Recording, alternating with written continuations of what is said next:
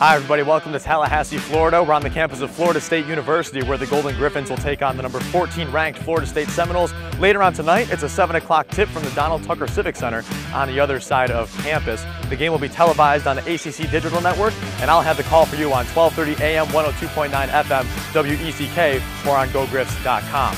Looking at some players to watch for in this game, Takal Molson is averaging 24 and a half points per game. That's good for 14th in the country. On the other side for Florida State, Terrence Mann had a double-double in their last game against Tulane. He had 21 and 10. He's shooting 57% from the field. That's good for 11th best in program history at Florida State. Canisius is looking to bounce back from a tough loss to Albany and looking to combat the size of Florida State. One of the starting centers for the Seminoles, Christ Koumadje, stands at 7'4 and 268 pounds, so the Griffs are going to really have to be able to play big in this game against the Seminoles later on tonight. But until then, from Florida State University, I'm Andy Helwig for GoGriffs.com.